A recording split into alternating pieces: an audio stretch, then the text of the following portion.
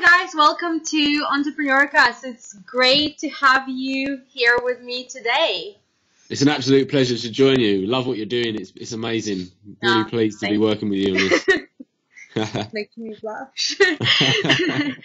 so guys, tell me more about yourselves outside of what you do. Who are you outside of your business in your usual life and what do you enjoy doing in your spare time? In our spare time, we enjoy working on our business.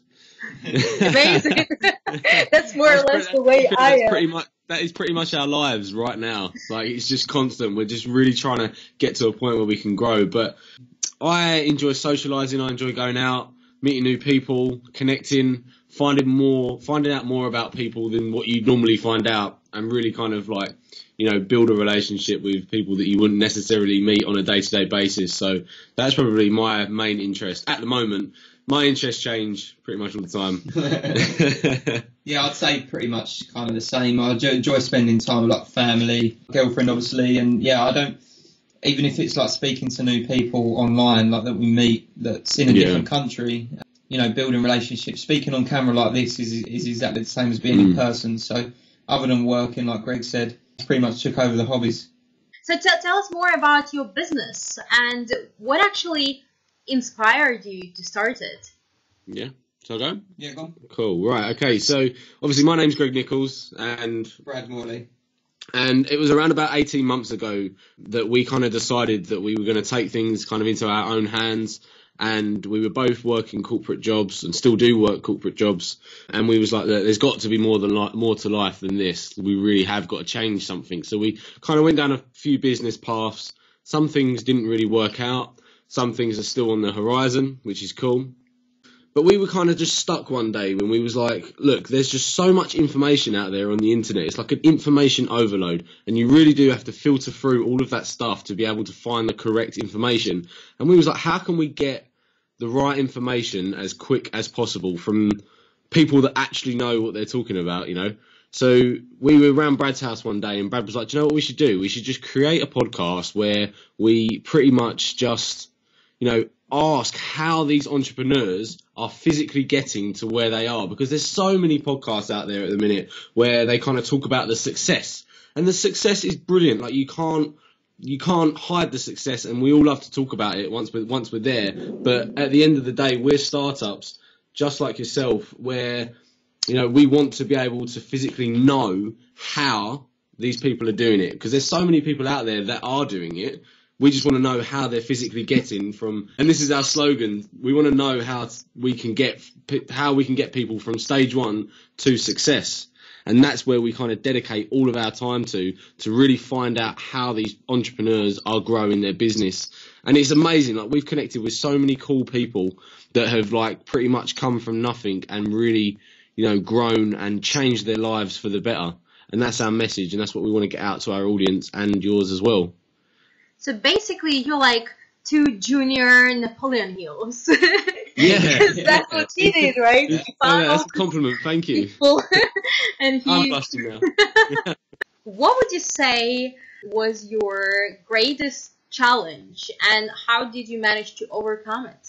One challenge I'd probably say was, well, there's two actually, but I- I'd say one is if you want to connect with like influencers on your show, that's something that a lot of people want to do. They want to get these high profile people on their show. Mm. But in return, if you're going to get them on your show, then they need to see, you know, that they're going to get a return on their investment. So connecting with influencers is a is a is a great thing to do for any business where you're going to seek more opportunities. But you need to come up with something that is going to be able to give them what they want, and you need to know how to approach them well because if you're if you're going to uh, go go into mailing like some of these big timers, then they're going to have a lot of emails, for example. Some some of them get like thousands of emails per day, to which you could take a fraction of those are all people that want to feature them. So it could be podcasters, it could be contributors for you know publications, all asking the same thing, and they got to pick what ones they're going to do and which ones stand out the most. So you need to know how to be the one that's going to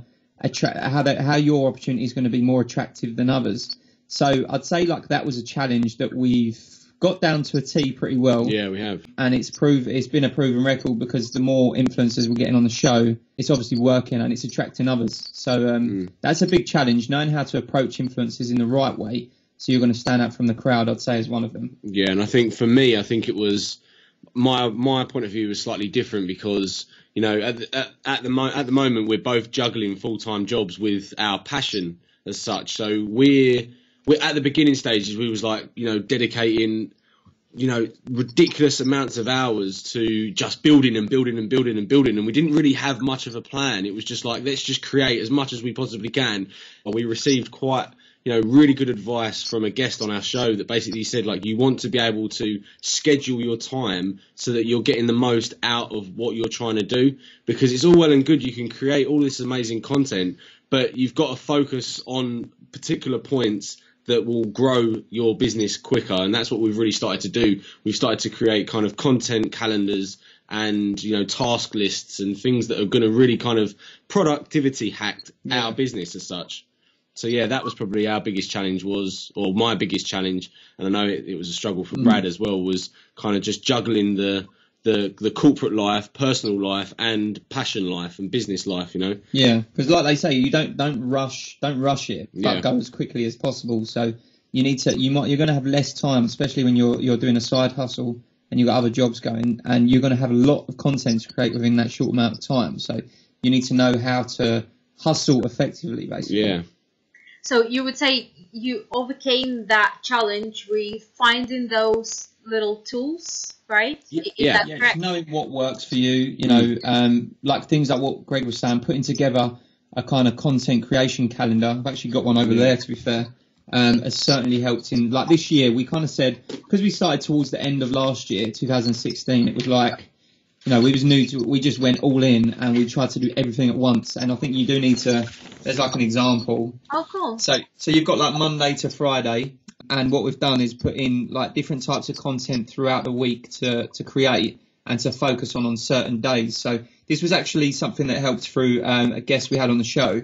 Um, he said like dedicating one specific day to something. So for instance, Thursdays I put on there, if because we contribute to these two big publications, specifically using a Thursday for writing copy only Yeah. and not getting distracted and, and jumping over other things and leaving work half complete. And then like Greg might do uh, something else on that day, and then on a different day he might have his writing day. So it's like we're using two people effectively, and instead of having five hours a night between us, we've got ten hours. Yeah, exactly. And that's where I think a partnership really does kind of come into play really, really well because we both use our skills to produce as much as possible. So, you know, Brad's really high on creating images and graphics and really kind of get the getting the brand out there. And my kind of my kind of uh, role to the thing is kind of the back end stuff, like making sure that the technical specifications are right, making sure that the uh, the content's perfect before we get it out there, making sure that the podcasts are edited and really at a point where you know if you was to listen to it, it would sound like a professional production. That's how much we really kind of do dedicate our time to making sure that this this thing is really going to kind of set us out from everybody else. And obviously, you know exactly how that is. Are there any like specific resources that you could share with us that really helped you during that journey? Mhm. There's a few things. um, I I personally would cancel your Netflix subscription.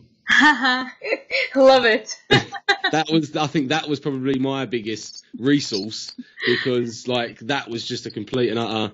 It was so distracting because I know it was there, and I'm a huge TV junkie as well. I love watching series of of programs, and that just turn it off. Just turn it off. Just cancel the subscription because it's just it's just a you know it's a distraction that you just can't afford to have at, in the beginning stages.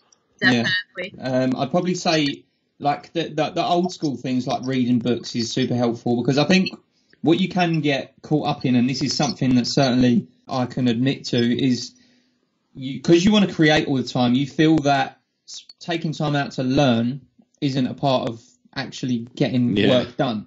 Whereas in actual help, that is going to help you. You need to learn as much as you can so you can, you know, make expand your knowledge, become like learn new things about what works. You could be saving time. You could be shaving time off because it's like if you was to pursue something. I can't think of any examples. Say, say for instance, you wanted to build your social media profile in a certain way, um, and you wasn't quite hitting the reach that you could. If you was to be learning on a podcast about social media marketing, then and they focused on how to build your Instagram profile, Yeah. for example, you might learn things from that that would shave you time off of what you're actually doing Mm. to make you get things done quicker. So things like listening to podcasts is super helpful. Uh, go listen to Stage One Startup, obviously. Um, and then like things like um, reading books is especially is a big thing. If they're around specific topics, like there's there, I've got loads over there that people you know you can you can jump into. That's from personal development all the way through to actually learning about starting a business. Yeah. So, so they're they're two two good resources um, that that would super definitely help. Yeah. Would there be like any technology-based resources that you find? Maybe more than you, useful? that is. Uh, yeah, so we and you as well, man. Like we used I'm it, we used we used this tool called Snappa, which is an online graphics creation yeah. tool that we are completely religious to. Like before, we were using Photoshop, and we still do use Photoshop to an extent, but we create all of our images that create loads of engagement because they're they're they're produced and made in a specific way. And Snappa, which is N uh, sorry S N A P P A dot io just this online graphics tool. It's so easy to use. There's no kind of layers or anything like that. It's literally just simple to use 100% i would definitely use that for kind of building graphics and creating engaging images images. It's a bit like Canva kind of thing. yeah. So you're creating content, and it's it's a good way of putting it together. Instead of like approaching a, a graphic designer and paying them to create your content for you, you can just do it yourself. Mm. And that's how you know we're distributing as much as possible out on the likes of Instagram, Facebook every day. Yeah. Um, another tool that I would I would 100% recommend is WordPress. 100% use WordPress because there's so many people and so many businesses out there that go to a website designer and spend thousands on a website when you can physically just buy a domain for 10 10 pounds, ten dollars, and then buy a, a theme from Theme Forest for fifty to sixty dollars, a really good one as well, a well designed one, and then you just customize it to the way you want it. It's super easy to use. You can't really go wrong with it. You just enter all of the stuff that you want for your business into that, and away you go. You put your logo on it, you put your stamp, and you've got a website. You can have a website done with WordPress in probably two hours, two three hours. Yeah. And for things like productivity and like how we've got it all on paper, you don't have to do that. No. Um, that's just a way. Sometimes when you've got so many tabs up on your computer, it can be hard to, you know, stay like not distracted because you end up going on each tab and think, oh yeah, I've got to finish that, I've got to finish that. So things like apps like Trello, Trello's a good app. Mhm. Todoist, it just helps you like keep notes, make cards, like put your work into some kind of schedule where you can actually stay organised and not lose time by every night thinking, what have I got to do tonight, um, and trying to map it out. Yeah. You waste an hour already. If you've got it all mapped out, you can say, right, tonight is time to write or time to do this, create images. I'll spend the night on that, and it just Yeah. helps you get done, things done a lot quicker. Plan in advance. Yeah. Yeah. Yeah. Yeah. Yeah, that's great. And and with WordPress, that's that's a very good point because some of the biggest companies in the world they use WordPress. They they don't Yeah. use Yeah, the exactly. old-fashioned way. I believe Apple uses WordPress. Really? Really? Yeah, I think I, I believe so. I think um husband done research uh, yesterday and he found that and it was like Wow. I, I wasn't even su- surprised much because I know like some huge companies they all use Mhm. WordPress because it's simple, it's Yeah. easy, and you don't need to waste so much time and money developing something in scratch, which will take a lot of time and money to change if you need to change Mhm. anything. Yeah, definitely. Um, so yeah, WordPress is great, but also you obviously you mentioned reading, which I truly believe in. But would you say you guys read some books that totally changed your life? Yeah, Jesus Christ, where do we begin? I've gone through so many books in the past 18 months that I can't even think. My, I think one of the biggest ones that I've used, yes, those two books. This book is, Greg, we was doing a boots sale once. uh, we was trying to, we was trying to make some money and I was going to sell that book. And Brad was like, no, you can't sell this book. That was serious. I mean, like Greg knew a lot about Steve Jobs, um, and he was like the one that because he's into that kind of thing. He was telling me all about him. Really, I just really knew like the, the average stuff that everyone knew. Then I read that and I was like, wow, this guy is like a serious visionary. Like that's that's an impressive book. So that's how to think like Steve think like Jobs. Steve Jobs, that's great. Um, that's a good book. Also, that one for me has been pretty great. It's been quite hard to get into because Peter Thiel. He's the co-founder of PayPal. It's a really interesting book that, and a lot of people on our show have recommended it. But it's you, you have to really get your head into it. It's notes on how to build a future and startups. Notes on startups. So that's super useful. But like really, you have to really put your mind to, to reading it and Mm. get into it. So there's two for me. Um, I know Greg's got some. Yeah, mine would be. Um, let me think. Let me think. Let me think. Mine would probably be again the Steve Jobs autobiography. I think that kind of feel like that. That shaped me as a person. I read that when I was. I think I just turned 18, and I was like, "This is for me. Like, this is where I need to go." Like that guy has, left a legacy that we're all using every single day, and his his name will be forever remembered. And I just, it just kind of really kind of touched me in a way that you know I didn't think would. So yeah, that one. this one as well. I've been reading this. I've not finished it yet. Um, Seven Day Startup by Dan Norris. Uh, if anyone's like connected with him, Mm. you see like you're following his journey. But that that's super that's super um, actionable there because it's all around how to actually start a business within seven days and launch it within seven days.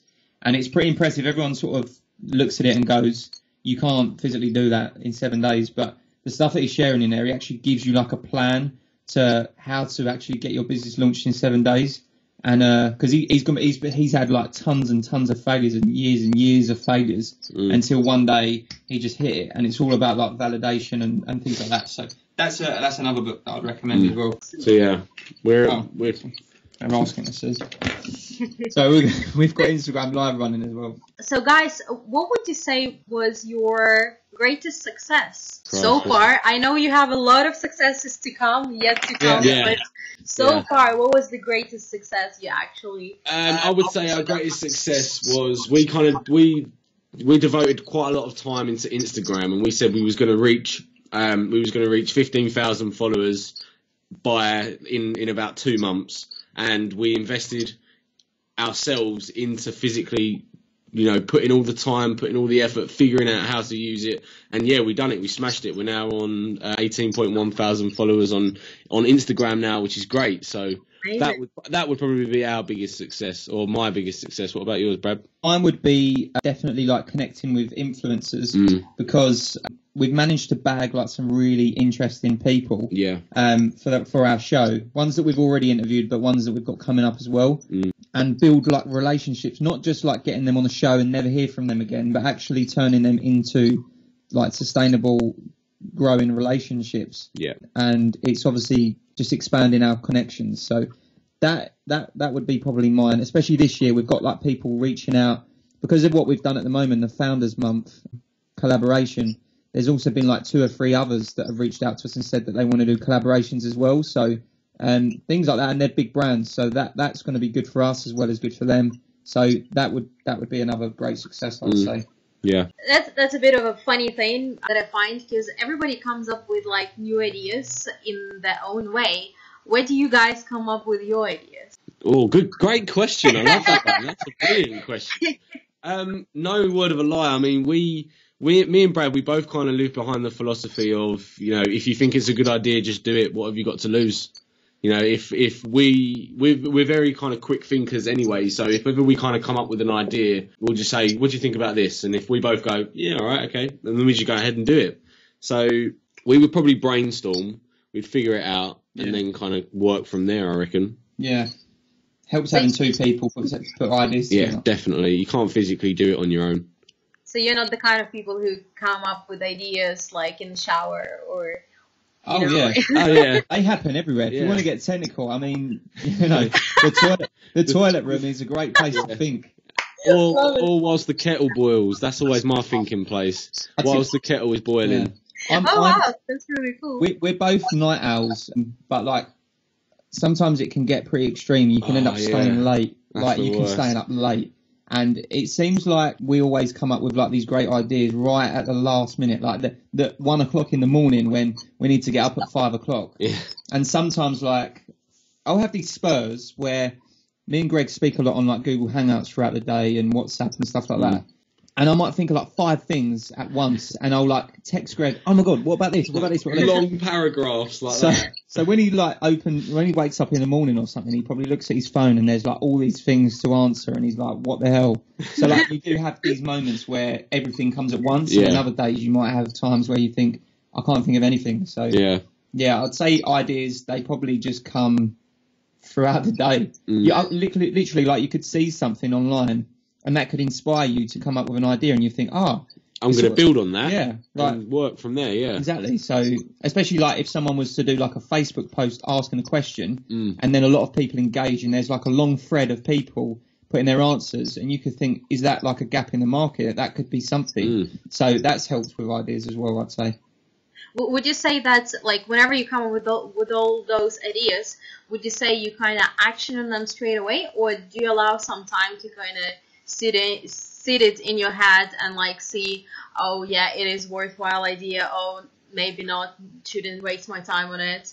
I mean, it depends on how big the idea is. If it's an idea that's going to kind of help us grow as a brand and as a business, um, then we kind of put it into action straight away, see if it works, and then kind of really, and then kind of watch it grow, and then kind of scale it from that way. But over the past few weeks, we've had loads of these big ideas where we're like, right, yeah, we can do that, we can do that, and we're like writing them down and writing them down. We're thinking we can't do this at this particular point. We physically cannot fit any more time into our day to try and make this idea work. Yeah. So when when we've made it, we're Yeah. we're, we're just going to be constantly creating new things twenty four seven. But I suppose that's just life as an entrepreneur, right? Yeah. Yeah. I mean, like you, you're gonna have like ideas. Everyone's got ideas. It's like how you act on them. And I Yeah. think there's there's two takeaways which which kind of differentiates the two options and can make it pretty difficult for someone and can actually stop them from pursuing an idea. And that is one, if you think about it too long or do too much validation on it, then you can be wasting time. Yeah. Uh, you can be, you know, you could have launched already. And then in some cases, it's better just to launch it like on a soft launch, not like go all out on a launch, but just do something and start growing it. And if it if it starts working, then that's when you can really focus on because what what you don't want to do is spend like six months to a year planning something and then only to think I've wasted that time because no one needs this idea. So um, sometimes it's better to do a soft launch. You just got to kind of weigh up your options. Even if you think of an idea and it's not too technical, just try it and see what the kind of engagement is on the return. And then if it seems worth pursuing and people are engaging with it, then you can go all out on it. Mm. But I would also say do not leave the idea for too long because Yeah. that that kind of leads to procrastination and instead of exactly. Yeah. you know just going with it, people just Sometimes sit you on just an do idea it. Yeah. and never do it. So, do you guys have any like personal heroes, someone who inspires you? Yeah, oh, I've got. Yeah, where do we begin? Where do we begin? Obviously, for me, my my idol that I'm kind of really following at the minute and taking a real interest in is Mark Zuckerberg. Mm. I think that the way his the way that he's built Facebook has just shaped the way the world has changed in the past uh, 10 years now. And when you think about it, this guy, he's not flash. He's not, he doesn't boast. He's not money orientated. He just simply wants to try and make the world a better place by connecting people and working together to kind of produce a better world. And I think for me, Mark Zuckerberg at the minute is my idol, but it kind of it kind of varies. I'm really technical, so I am I'm the geek really out of the two of us, so I enjoy all of that type of stuff. So yeah, Mark Zuckerberg, Steve Jobs, uh, Bill Gates, yeah, all of that, all of those. Elon Musk is huge. Like, Oh, yeah. love what he's doing on like a, a whole new level. But talking like smaller scale, someone that I'm like following every single day. There's probably like two people, and that's one's Gary Vee and another one's Gerard Gerard Adams. Because Yeah. I think they're more for us. They're like more relatable at the moment. You know what they're doing is something that you know the, the advice they're giving is stuff we can actually act on. It's not Yeah. like if Elon Musk was to say build the next SpaceX, for example, it's really technical science, and you've got to be like super you know, intelligent and know what you're doing, have a skill set in that. Um, in most cases, whereas like the stuff that Gerard and Gary Vee are doing is more like relatable and things that they're in our millennial kind of era, so Yeah. it's easier for us to adapt to it and actually put what they're doing into action. So I'd probably say those two. Obviously, there was a lot of stuff already said, but uh, what would be your generally top three tips and strategies for people who are listening today? Yeah, okay. So my my first one would be focus on your circle of influence. So be around people that are physically going to make you grow as a person. Because at the end of the day, if you're physically around people that are, you know, bringing you down, a little bit negative all the time, constantly talking about bad things, that is going to have an impact on you and it's not going to allow you to grow as a person because you're kind of thinking, well, you know, maybe he or she is right. Maybe, you know, maybe my dreams are too big. Maybe I'm not being realistic. Maybe I should just be normal, quote unquote yeah, you need to be around people that share your vision, that will help you grow as a person, and allow you to really achieve your dreams. And not, and. I know that sounds really cliche and a little bit cringy, but it is so doable. And look at, I mean, us for example, we've kind of shaved off quite a lot of our friendship circle simply because we want to be around. Like we still love these people, we still we're still friends with them, one of the quotes that I've figured out over the past few weeks through the Founders Month that we're currently doing is success breeds success.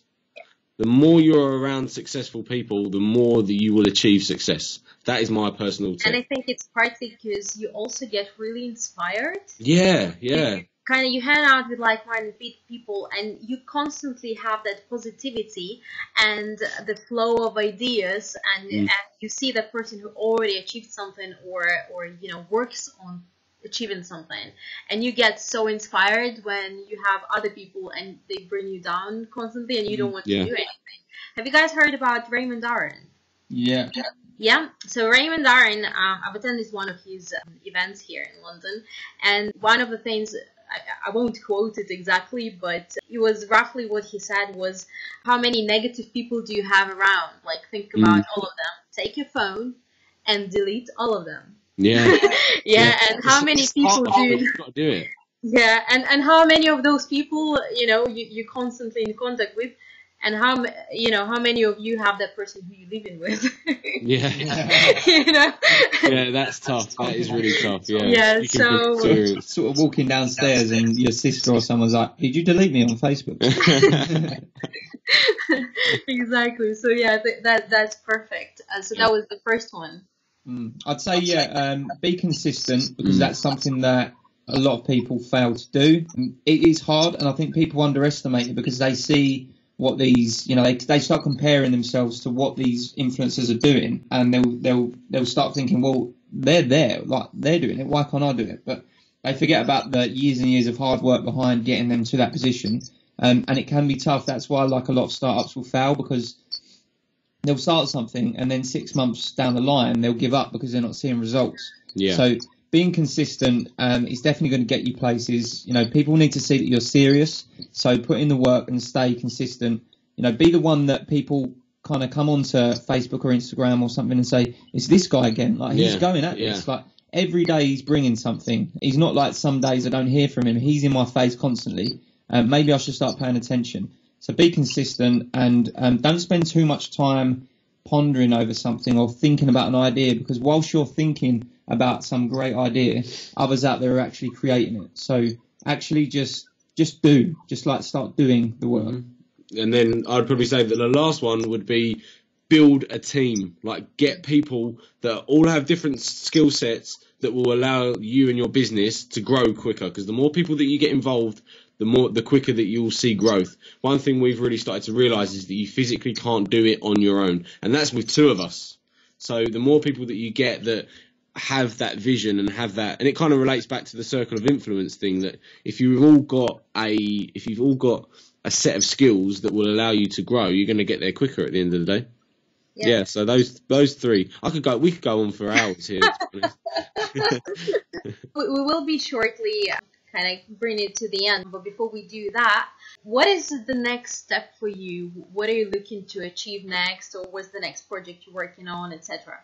So I'd probably say that we are going we are going to continue to grow Stage One Startup until we are influencers within the podcasting startup social media realm that's kind of growing at the minute. We want to be able to speak at conferences confidently that, uh, that we're sharing all of the knowledge that we've learned out to the people that physically need it because at the end of the day it's not easy and if you're getting that right information made you got you are going to you know, connect with so many people on a level that just takes you to the takes you to the top. And then realistically, in the next kind of year, we're probably going to continue to grow. We're also starting a um, we're starting another show which allows people to learn lessons from the entrepreneurs that we get on the show. So we're going to be talking about like how to write a business plan, how to create a website, how to build influencer relationships and things like that really. Yeah, I think like this is like the our year of growth. I feel like 2016 we started it late. Um, you know, we we start we launched it at the in the last half of the year, so mm. it was kind of finding our feet, finding like where what direction we want to head in, yeah. um, and just really learning as much as we can about this game. And this year is like growth time because we've kind of planned out. We started planning back end of last year exactly like what we want for this year, what goals we want to hit, and most of it is all down to growth. So it's kind of like our years will kind of go 2016 learn, 2017 grow, and 2018 scale really. Well, you never know who is listening, so if there is someone who could help you in any way, what sort of help can people currently like listening provide for you? Maybe what kind of people do you want to connect with, mm-hmm. or what else that you need to make things happen for yourselves? Yeah, so basically, we're really trying to focus on getting our content out there to as many people as possible. So if any of you listeners are listening right now and they're interested in our story, come over to Stage One Startup and share. Just let people know about this journey because you know it needs to be documented, and that's exactly what we're doing. So yeah. there could be like someone listening that is, uh, you know, they're not, they don't necessarily need. They might already be business owners, um, but if they're like, if they know someone that's an early stage startup that could really use the help and resources from uh, people like us and our podcast, then uh, that would be great. And also, if there's any influencers that so happen to be listening to your show that's that's willing to uh, you know expand our network and reach, then that's also a great great kind of people that we're looking for. Mm-hmm. Awesome! It's all about collaboration and helping. Yeah, definitely. Great stuff. Um, so, is there anything else you would like to add or advise on to the listener today?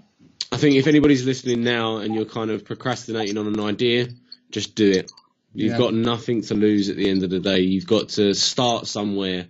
You know, even if it doesn't work in the in the first year, two years, three years, just work at it consistently and just start right now. Yeah. And obviously listen to Stage One Startup. um, how can people find you? If they head over to our website, which is stageonestartup.com, um, one is the ONE, by the way. Yeah, everything's on there. They can they can find all our best resources and our, our podcast. Each episode is on there. Um, also, we're mainly on so we're on social media a lot. So if anyone wants to get in touch, uh, they can find us on Instagram. We've got personal brand Nicholls and Morley, um, and we've also got our Stage One Startup account, Twitter, Facebook, anywhere like that. We're, yep. we're always there. Just drop us a DM very much for coming on the show, guys. Thanks I really look forward to following your success story, and I'm sure we'll uh, touch base again in a year or two when you know you're much further down that road. Yeah, hell yeah, let's do it. Let's do it. Love what you're doing. Thank you for having us on the show. We yeah, appreciate, really appreciate it. it.